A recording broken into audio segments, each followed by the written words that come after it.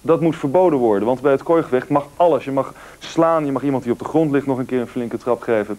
Maar de minister van Justitie zei dat kan niet verbieden en dus gaat het gewoon door. In Emmen wordt vanavond keihard, legaal gevochten. Straks gaan we naar Emmen. Uh, krijgt u live de beelden van die gevechten. Maar eerst stelt verslaggever Rudy Bauma aan u de enige Nederlandse deelnemer aan dit kooigevecht voor.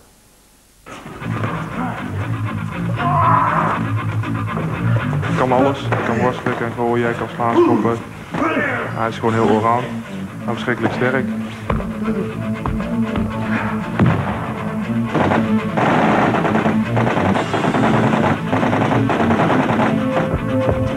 Casefight is gewoon uh, alles is uh, toegestaan, ellebogen, hoofdstoten, natrap op de grond. Alles gewoon om zo snel mogelijk van je tegenstander te winnen. Het is gewoon een uh, heel hard gevecht, de hardste vorm van vechten die er is. We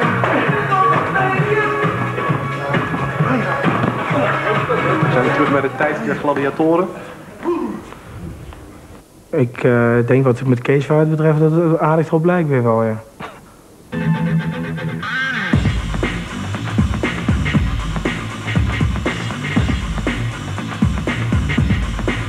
Aan de volgende scène zien we het risico van deze tak van sport dat er met blote vuisten wordt geslagen en met blote knieën en, trappen.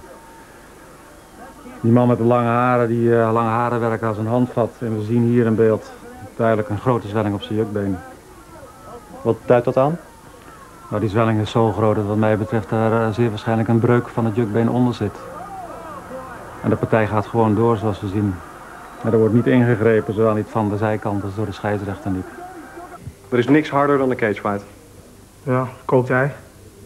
Nou, de volgende scène zien we heel duidelijk uh, dat er een groot gevaar is op bloed-bloedcontact in deze tak van sport. Het gevaar van bloed-bloedcontact is dat er besmettelijke ziektes worden overgedragen. En de bekendste twee daarvan zijn aids en hepatitis B. Dus dat zijn geen ziektes die, uh, die even simpel te bestrijden zijn. Dus in de normale takken van sport wordt het heel duidelijk ook bestreden. Ze houden zich bij bloed is, uh, wordt eraan gewerkt om dat af te dekken. En hier gebeurt het helemaal niet. Het is niet, uh, het is geen ganzenborden. Als sportarts uh, vind ik, maar vinden wij eigenlijk allemaal in Nederland, dat we dit, uh, dit is ontoelaatbaar, deze takken van sport. Het is zo ongereglementeerd en zo gericht op het beschadigen van andermans lijf, dat ik vind dat je dat als, als dokter en als sportarts niet achter kan staan. Willy Peters stapt vanavond voor het eerst in de kooi. Wel deed hij zo'n 30 free fights waarvan hij het overgrote deel won. Maar deze gevechten zijn volgens hem maar kinderspel vergeleken de cagefight van vanavond. Dat is een duim in mijn oog. Daar heb ik die duim, dus, dat is wat ik vertelde, die duim in mijn oog gekregen. Dat is bijzonder pijnlijk. Kijk, je ziet het ook in die replay, de hele vinger gaat in het oog. Zie je ze nog eens een keer goed, moet je maar eens een keer goed kijken. De pink van hem, die schiet helemaal in mijn oogkast. Wat is dat voor knipsel? Wat? Ja, dat is een knip, knipseltje tegen, dat is een hele oude partij al. Die is al vier jaar, geleden, vier jaar oud, denk ik. In ieder geval, het water ging zo, op deze manier ging die toen uh, weg. Toen hij klaar was met me. Op een elkaar? Ja, nou, dat is ook niet erg. Beter hij is ik. Mijn trainer is zelfs helemaal niet zo blij ermee dat ik dit ga doen omdat het, omdat het uh, ja, weer voor het free fight weer uh, slecht is, weet je. Omdat ik hier aan meedoe. Maar ik vind aan de andere kant dat de mensen ook weer eens een keer kunnen zien dat het een heel groot verschil is. Dat free fight gewoon eigenlijk uh, een kinderspel is. hierbij vergeleken. En dat dit echt het harde werk is. Voor VVD en Rijpstra deze week reden om kritische kamervragen te stellen. Maar er zijn geen juridische mogelijkheden om vooraf wat te doen. Wel had de burgemeester van Emmen op grond van plaatselijke verordeningen maatregelen kunnen nemen. Destijds heeft de burgemeester van Breda een, uh, een, evenement wat men noemde dwergwerpen. Dat zou ook een soort nieuw sport zijn, wat dus ook geen sport is. Verboden op grond van publieke veiligheid, maar vooral ook op grond van de, het, het, uh, gebrek aan goede zeden.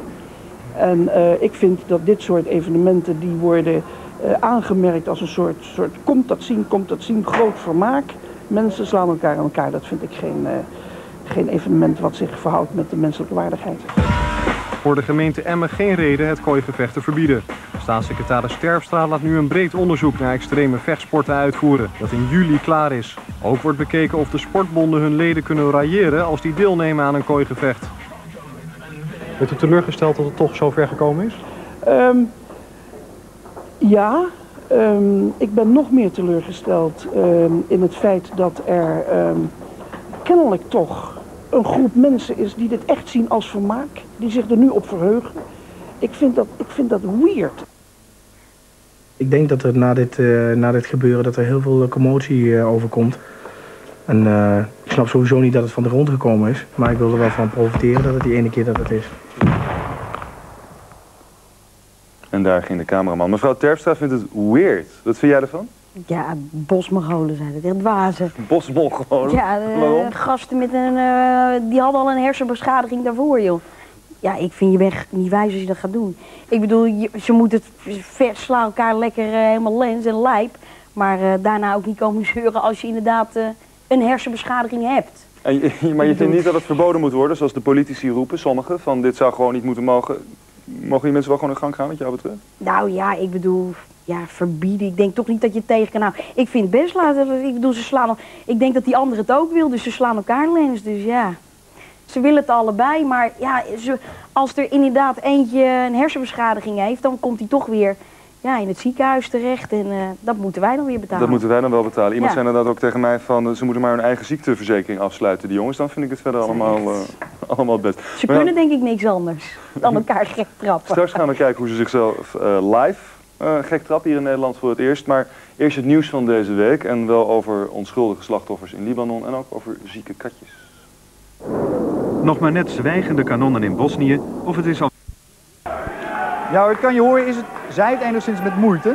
Het is hier namelijk afgeladen vol. Het is flink druk daar. Hoeveel mensen zitten er op dit moment in Emmen naar het gevecht dat achter jou bezig is te kijken? Nou, ik kan je vraag niet helemaal exact horen, maar er zijn hier 2200 mensen. Het zit hier afgeladen vol. Mensen die kijken naar het eerste cagefight in Nederland. Belangstelling is enorm groot, ondanks alle publiciteit, ondanks alle negatieve publiciteit die er deze week is geweest. En pogingen om dit te verbieden. Kost dat daar een kaartje? Stel dat ik er vanavond heen had gewild, had ik moeten betalen? Ja, een kaartje, daarvoor moet je toch diep in de Bijbel tasten. De meeste kaartjes kosten 75 gulden. De duurste zijn 300 gulden. En er zijn mensen die dat betalen. Wat voor soort mensen... De kooi in Emmen. En hier is de deelnemers om te doen. 20.000 dollar te verdienen in deze kooi. Het publiek was ruim op tijd aanwezig. Het zijn mensen die wel van een stevig robbertje vechten houden. En het zijn ook mensen die niet snappen van alle kritiek op de cagefights. Het is gewoon zo, twee mensen die goed getraind, getraind zijn, die moeten toch zelf weten of ze elkaar eh, in elkaar gaan staan slaan of niet. Daar heeft er niemand anders niks mee te maken. Als Gilio Tuur zeg maar in de ring eh, iemand anders eh, bijna half doodslaat, dan, dan wordt er geklapt of zo. Ze weten waar ze mee bezig zijn, dus... eh, Ik vind eh, dat het wel door mag gaan hoor. Jullie denken een leuke avond te hebben. Zeker weten. Echt wel, ik ga gillen. En het is niet te hopen dat de Nederlandse deelnemer Willy Peters dat ook gaat doen. Nou, kijk, de, de, de bepaalde spanning komt natuurlijk nou wel eh, langzaam opzetten, maar ja, nerveus. Ik, ik- vlak van tevoren ben ik wel heel nerveus. Kijk, dan eh, verlies je ook wat kracht, word je wat zenuwachtig. En, maar dat gaat gaandeweg in het gevecht gaat dat wel weer weg. Suzanne Peters, de echtgenote van Willy Peters. Het is nu bijna echt zover, zenuwachtig. Ja, ja, heel erg. Ben je bang dat hem wat overkomt? Nou, niet zozeer bang dat hem wat overkomt, maar ik hoop gewoon dat hem niks overkomt natuurlijk. En het is de vraag of het Nederlandse publiek dat ook vindt. Honderden mensen waren erg vroeg al aanwezig en werden gefouilleerd. Want het gevecht is vooral voor de deelnemers en niet voor het publiek. Van die deelnemers wordt dan ook veel verwacht. Een, eh, een gevecht wat in Nederland nog nooit eerder is geweest. En maar eens kijken wat het wordt. Je kunt alles van voor oordelen, maar achteraf is beter om te praten. Ja, spektakel, bloed, alles. Wat is er leuk aan? wat is er leuk aan? Ja, als je, ja, moet je een keer gezien hebben denk ik. En deze man heeft ons beloofd vanavond niet mee te doen. De kooi is vanavond voor de gladiatoren van de cagefight.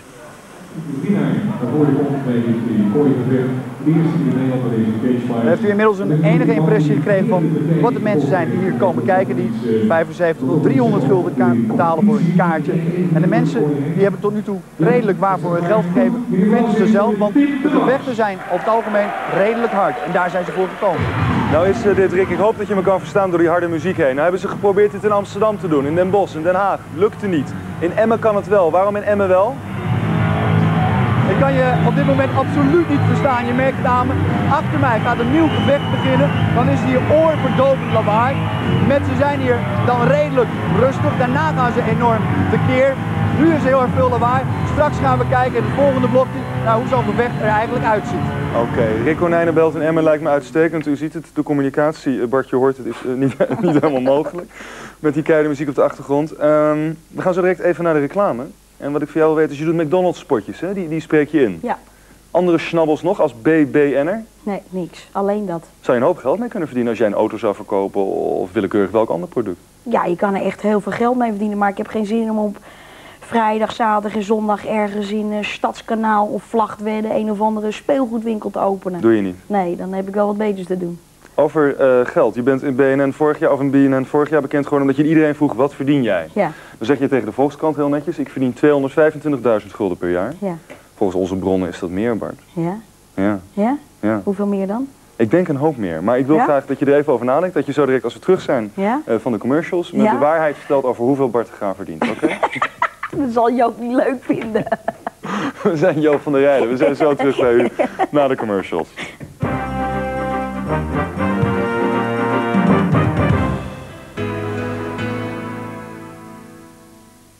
Eigenaar-directeur van eh, commercieel station BNN. Ehm, Bart, net voor de reclame vroegen we je geheel en al op Barend en Van Dorp manier. Hoeveel je tegenwoordig verdient, want die 2,25 daar geloven wij niks van per jaar. Hoeveel Nou, het is 5000 gulden meer. Oké, 32. Ik geloof het niet, Bart. Dit was een oud contract, nu doe je BNN, dat gaat hartstikke goed. Ja? En ja, jouw maar programma... dat is ook natuurlijk pas dit seizoen dat het goed gaat. Ik bedoel, we zitten nu dit seizoen pas om half tien, waar ik heel erg blij mee ben.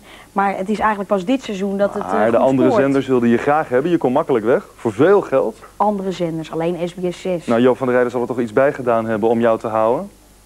Kom op. Ah, ietsje dan. Vandaar dat ik niet meer hoef te snappen. Pas op hoor, je krijgt zo'n grote stempel over je Ja, hoofd. dan ben ik heel benieuwd. Ik wil die stempel wel zien dan. Nou, zullen we zeggen Ja. 400.000 gulden. Is nog te weinig, dat doe je niet voor. Zit Bart de Graaf boven het half miljoen per jaar? Nou, het is- stond laatst een heel artikel in een of ander blad. Ja. En dan la- laat ik zeggen, daar stond ik niet bij. dus ze hebben me over het hoofd Tussen de gezien. 4 en de 5 ton, hou het op. En jij zegt geen nee. Dus dan zeggen we bij een politicus, hij heeft het niet ontkend. Ehm, wij gaan weer naar Emmen. We gaan weer naar het, eh, naar het eh, kooigevecht, de cagefights. De Rick Konijnenbelt is daar. En Rick, kan jij mij nu wel horen als die muziek misschien wat zachter is? Hi Ja, Rick. gelukkig wel. Het is nou even pauze. Het is nou pauze en daardoor is het nou even rustig. En dus kunnen we nu even praten. Dat is mooi. Hey, jij hebt die gevechten gezien. A- Achter je waren ze net druk bezig toen we je net zagen. Wat is jouw indruk eh, van dat kooigevechten tot nu toe? Mijn indruk is dat het erg hard is. Het zijn mannen die overigens wel heel erg getraind zijn in verschillende soorten van vechtsporten. Maar er zijn eigenlijk maar een paar spelregels. Je mag niet bijten en je mag elkaar niet in de ogen steken. Dat is zo ongeveer het enige, dus het is erg hard. Wat heb je opgenomen? Want ik begrijp dat jullie de camera uiteraard mee hebben laten lopen bij een aantal van die gevechten. Eh, wat kan je ons eh, daarvan laten zien? Ja. We hebben uiteraard eh, Willy Peters, die u zojuist ook al in de uitzending zagen. Die hebben we gevolgd tijdens zijn gevecht. Het was zijn allereerste kooigevecht. Daar gaan we nu naar kijken. Het commentaar is van twee Amerikaanse deskundigen. En dat is dus uiteraard in het Engels. 174 centimeters, 5 foot 10, and they begin. 202 pounds. And they're starting fast, Chris. Big right hand by Willie Peters. Alan Harris trying to get the takedown. So Alan Harris in the red, uh, in the black, is a grappler. He wants to go to the ground. Alan Harris has Willie Peters in the guard.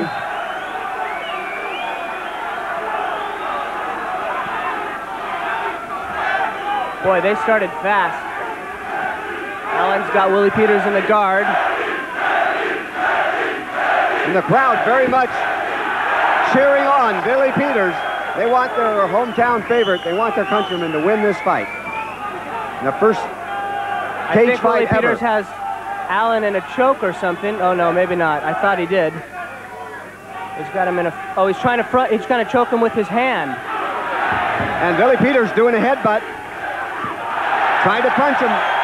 Oh, and he Big got shot. him good in the mouth a couple of times. Billy Peters, a very aggressive fighter, And Alan as Harris. you can see. Oh, goes for a leg. And And now Willie Peters- for the neck crank, but Alan Harris out of it. Now this should be Alan Harris's strong suit being on the ground, since he's a grappler. Ooh, big shot by Willie Peters. Another big shot. The kind of action that these people came to see, they want to see aggressive fighting, they're getting it. Ooh, another big shot. Well, it looked to me like hurt, Peters hurt him. And it's over. Willie Peters has won. Oh, Big cut over Alan Harris's eye.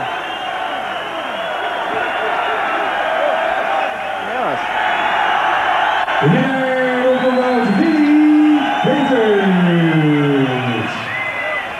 know, you win some, you lose some. Maybe, you know, the best thing is you come back to fight another day. Van plan om hier zo meteen weer It's good that he went, de what, didn't get very hurt. België en Europees kampioen. Tim I'm sure he'll be disappointed, but it's better to have a bruised ego than a really hurt body.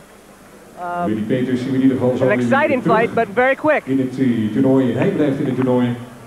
Well, we got our last fight for the semi setup. So we've got Richard Anderson from Sweden, a winner in the first round. Uh, Eduardo Roja. Ronde. Those two will be going at it in the semifinals. Willie Peters from Holland. Remains to be seen who his opponent's going to be. Winnaar naar voren komt bij.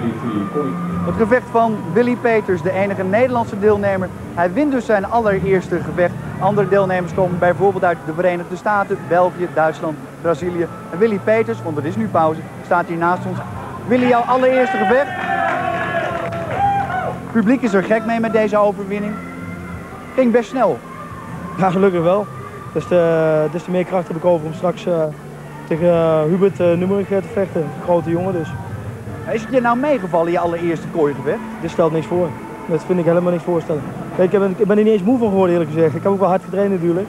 Maar het heeft te kort geduurd om echt eh, te zeggen dat ik er wat aan geleden heb of zo. Er zijn er heel veel mensen die hier kritiek op hebben. Bijvoorbeeld staatssecretaris Sterpstra. Wat zou je met haar in zo'n kooi doen? Eh, ik zou eerst eens vragen aan de, hoe ze zo geworden is, hoe ze zo dik geworden is. Want ik heb gehoord dat ze namelijk heel veel anabole steroïden ges- geslikt hebben om een beetje in de top te komen en te zwemmen. Maar wij mogen, eh, wij mogen van haar helemaal niks. Alle vechtsporten zijn niet goed. En, eh, ik bedoel, ik vind het een eh walgelijk eh, schepsel. Snap jij dat mensen dit willen verbieden? Ja, tuurlijk. Het zou, eh, zou dom van me zijn om te zeggen. Maar er zijn, in Nederland heb je natuurlijk altijd zoveel meningen overal over.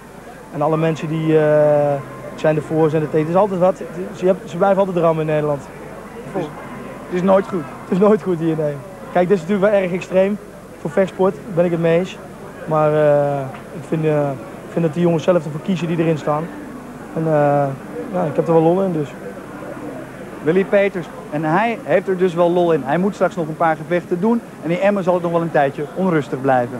Hey Rick, eh, nog even een paar vragen. Die mensen die daar binnenkwamen, die je daar straks interviewde met die mooie tatoeages op hun armen en zo, die wouden bloed zien. En die, die wouden eh, zien dat er veel geweld gebeurde. Als je dit zo ziet met die Willem Peters, het is wel heel hard, maar dat valt wel mee. Zijn er andere gevechten geweest die nog veel harder waren, waar het eh, bloed inderdaad in het rond spoot? Nee, dat voor sommige mensen die zouden zeggen helaas.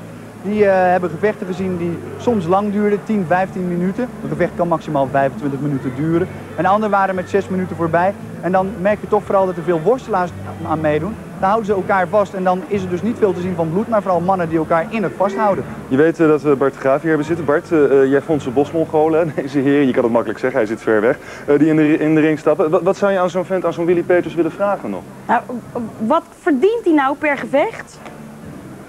Kan je het een Nou, dat vragen, is een Rick? mooie vraag voor, eh, maar natuurlijk, een mooie vraag voor Willy Peters. Bart de Graaf die wil graag weten, wat verdien jij nou met zo'n gevecht? Als ik eh, win, dan, eh, dan schijnt dat ik eh 20.000 dollar krijg. En voor de rest, eh daar gaat het allemaal om dus.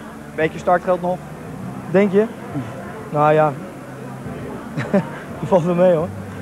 20.000 dollar. Onkostenvergoedingen voor eh, de weken en de maanden die je getraind hebt, materiaal waar je gebruikt, eh, reisgelden. eh, daar kan je net eh, een klein beetje wat mee terughalen, maar het is niet echt. eh, het is geen, ik kan me niet in mijn levensonderhoud van voorzien in ieder geval. Jammer genoeg niet. merkte, dat eh, houden ze er niet echt veel van over. Hoewel voor de winnaar ligt er toch nog altijd het aardige bedrag van 20.000 dollar. 35.000 gulden. Zou jij doen, Bart? 35.000 gulden laten zich toch stevig... eh, Nou ja, die tegenstander van die gozer had ik ook kunnen hebben natuurlijk. nee, ik zou dat niet doen. Nee. nee. Oké. Hey, verder, eh, geen, ge- Rick, tot slot nog eventjes. Niemand gewond geraakt, geen ernstige verwondingen in de gevechten die er tot nu toe geweest zijn in Emmen, dat jij weet? Nou, voorlopig is er eh, wat dat betreft heel weinig te melden. Het publiek dat bloed wil gaan zien, ja, dat moet maar blijven zitten, want hier in Emmen gaan ze nog wel een tijdje door.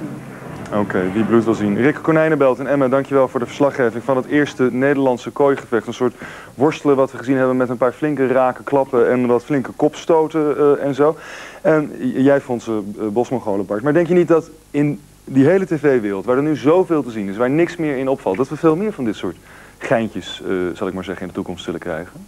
Nou ja, wie weet misschien eh, een keer op, op eh, leven en dood. Hè? Dat er nog maar één eh, levend straks de ring uit eh, stapt. Een soort eh gladiatoren, een beetje terug naar de Romeinse eh, tijd. Maar ja, ik vind eigenlijk, ja, als je er niet naartoe wil gaan, moet je er niet naartoe aan gaan. En juist door al die publiciteit zal het daar wel vol zitten. Van al die mensen, nou, dan moet ik toch maar eens gaan zien. En Dat soort rare dingen als in Japan heb je dat bijvoorbeeld van die, van die shows waarbij mensen, weet ik veel, insecten op moeten eten en allemaal in een, in een, in een kuil met slangen moeten duiken en zo. Denk je dat we dat in Nederland allemaal krijgen, die, die, die rare dingen? Nou, ik las pas geleden volgens mij dat er een Afrikaans restaurant is waar je dat soort dingen te kanen krijgt. Echt eh sprinkhaanden en maaien en geitenogen. Nou, eh, Aan de, aan de lichtjes in je, oog, je ogen zie ik dat je daar wel een onderwerp over zou willen maken. nou, ik ging bijna over mijn nek. Gadverdamme. Maar jij doet bijvoorbeeld zelf eh booby trap, Ja? waar mensen eh, vreselijk voor paal worden gezet en de Ja. zijk worden genomen, daar niks van weten op hele grove manier. Vind je, vind je dat zelf grof? Nou, die mensen weten er op het moment dat het gebeurt niks van, maar kunnen naar de hand altijd zeggen van, ik wil, wil niet het, dat maar het gaat vrij ver. Ik Tuurlijk bedoel- gaat het vrij ver. Ik bedoel, het zijn mensen, wij krijgen vaak brieven van andere mensen en ja, die mensen vinden dat zij dat weer verdienen. Dus we nemen die mensen in de maling. Maar ik vind gewoon, kijk, dat is niet tot bloedens aan toe iemand helemaal gek slaan. Nee, en wat ik zeg, wat ja. heel belangrijk is, gewoon dat iemand echt vindt dat hij voor lul staat en morgen niet meer over straat kan. Dat dan kan hij dat niet. zeggen en dan zenden we het niet uit. Dan staan er niet drie producers klaar met van als u hier even tekent, dan eh, komt alles goed in orde. En dan, eh, jullie leggen niet heel veel druk op die mensen om te tekenen, zodat ze het toch maar snel uit laten zenden allemaal? Nou, ik ben daar gelukkig persoonlijk niet bij, maar ik bedoel, ze zullen natuurlijk wel zeggen, als ze zeggen, doe het nou en maak het uit. Maar al willen ze het echt niet, dan, gebeurt het niet. Maar toch, hè, voorbeeld, eh, kan ik me herinneren, niet zo lang geleden, een man die in een vliegtuig zat, die dacht dat hij neer ging storten omdat de piloot ziek werd. Zo- Zo'n man zal het maar aan zijn hart krijgen, door jullie geintje. Ben je daar niet bang voor, voor dat soort dingen? Eh, Zo op de tv.